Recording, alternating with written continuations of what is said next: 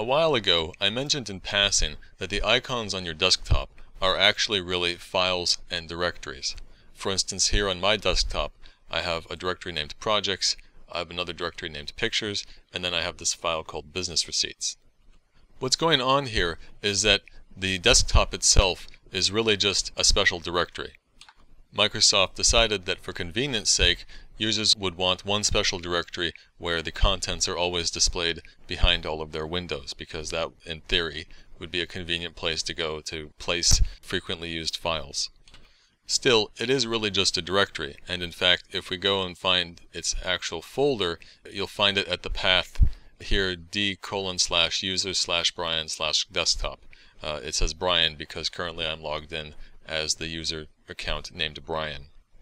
And notice the content you see here in this directory is the same as what you see on the desktop. And in fact, if I were to come here and if I were to delete the file, notice that it's now gone on the desktop as well as in the folder. What you're seeing here in the folder is really the same as what you're seeing here on the desktop. I'm sure you're wondering, how on Windows do you actually go about browsing through your files and folders? Well, the answer is that you need a program called a file browser uh, but Windows simply has one built in, and that's what most people usually use. To get to this file browser, you simply need to open any folder, like say here on the desktop if I were to double click this folder and open it.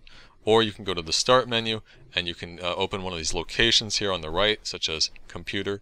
Or down here on the taskbar, you should by default have this little icon here, and so I click that and it pops up with the file browser. Now, the basic concept here in the file browser is that we have this pane on the left called the navigation pane, which contains a hierarchy of all of the locations on our system. Now, there are a number of really odd things going on with the location hierarchy here.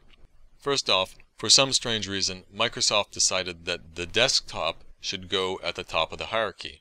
And as we just discussed, the desktop is actually a directory, and inside that directory I have on my system here two other folders called pictures and projects but this other stuff listed like say recycle bin or control panel uh, none of that is actually inside my desktop directory.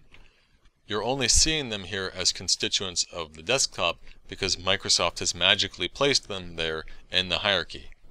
And in fact with the exception of Brian which is my user directory these things aren't actually really directories the control panel, for example, is not a folder or file, it's actually a configuration screen where I can configure various stuff about Windows and my system. The item above it, Network, is just a screen which shows you all of the other systems connected on your local network.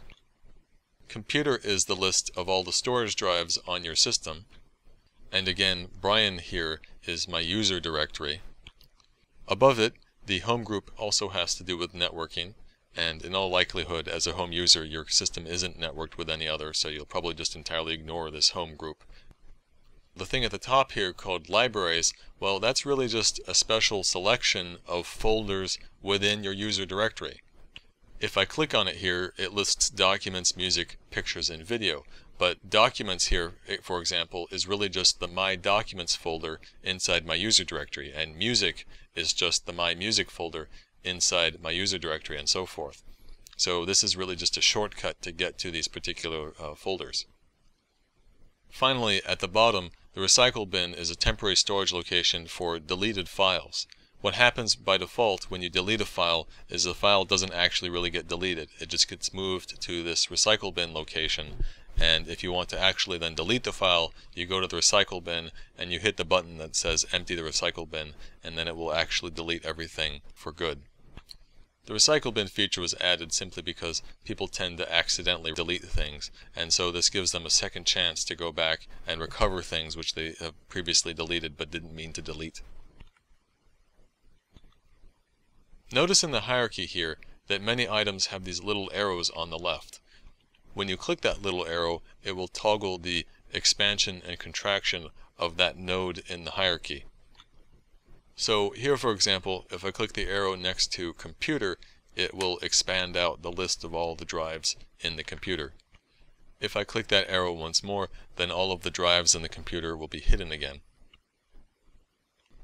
So as I mentioned, the libraries here is really just a shortcut to certain directories that are also in your user directory. So that means in the location hierarchy on the left, you actually have two different ways to get to these directories.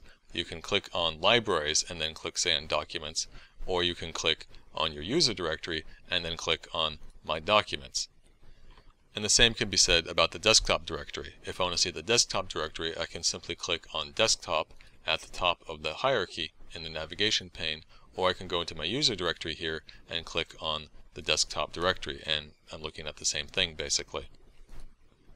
And in fact, there's even a third way to get to the same directory. If I go into computer and then go into the drive on which I have Windows installed, which on my system here is drive D, and then I go into the users directory where my user directory is actually located, here Brian, I go in there and look, here's the desktop directory, and also here, say, is the My Documents directory. So again, the confusing things about this locations hierarchy is that some of the things in this hierarchy at the top aren't actually directories, and then the other confusing thing is that some directories show up at multiple places in the location hierarchy.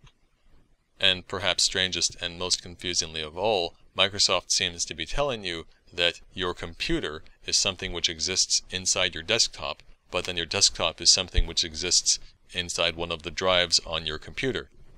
So as it's presented here in this location hierarchy, the desktop is something which is inside of itself. Frankly, I think this all was a very stupid design decision, and they couldn't have made it more confusing if they had tried. Last thing to note here, you may be wondering about this star labeled favorites. If I expand this, you'll see it's a list of locations. The idea is that there are certain locations that a user may wish to go to frequently, and so for convenience, the user can add that location to their list of favorites, so they don't have to navigate through the whole location hierarchy to get there. They can simply look in their list of favorites.